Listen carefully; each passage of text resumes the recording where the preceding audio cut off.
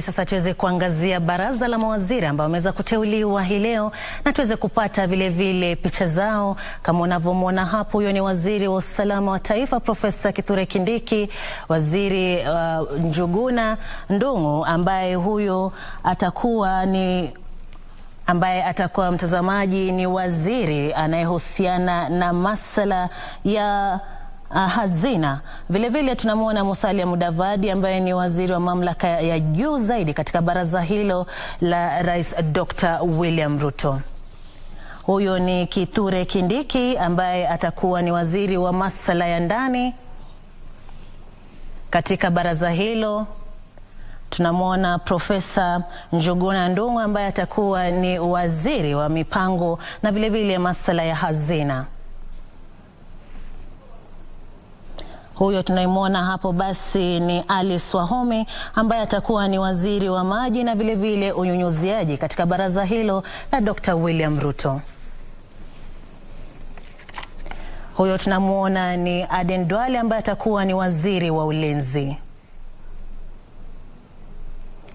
ambaye hapo awali basi alikuwa ni mbunge kuonyesha kuwa ataweza kujiuzulu katika wadhifa huo na kuweza kuchukua majukumu mapya kama waziri wa ulinzi na eneo lake basi likaweza tena kuchagua mbunge mwingine. Huyo basi ni waz, huyo ni waziri ambaye ni Alfred Mutua, atakuwa ni waziri wa mashauri ya kigeni ambapo hapo awali alikuwa na nyadhifa nyingine na kwa sasa basi atakuwa anahujumu ama atakuwa ana anafanya kazi kama waziri wa, mash, wa mashauri ya kigeni. Huyu unayemwona basi pia alikuwa mbunge hapo awali na kwa sasa ni waziri katika wizara ya jinsia ambaye ni Aisha Jumwa.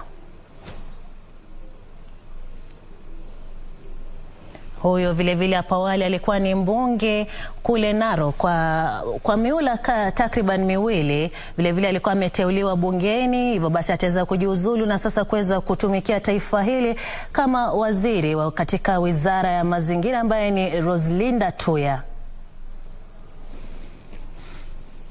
Mm-hmm. Huyo naye basi alikuwa ni seneta pia ataweza kujiuzulu ambaye ni Kipchumba Murkomen. Kwa sasa atakuwa uh, ni waziri wa wizara ya barabara ama uchukuzi.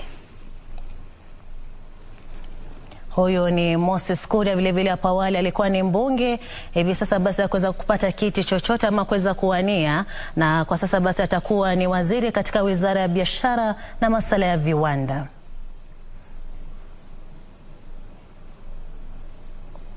Mm-hmm. Anayefuata basi ni Penina Malonza ambaye atakuwa sasa ni waziri katika idara ya utalii ama wizara ya utalii.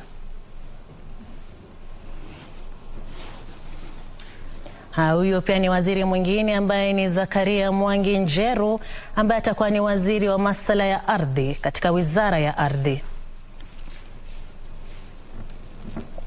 Huyo ni waziri mwingine ambaye atakuwa sasa anachukua hatamu kutoka kwa Kagwe ambaye amekuwa ni waziri wa masuala ya afya. Sasa ni uh, Susan Nakhumicha ambaye sasa ndio atakuwa waziri mpya wa sekta hiyo ya afya.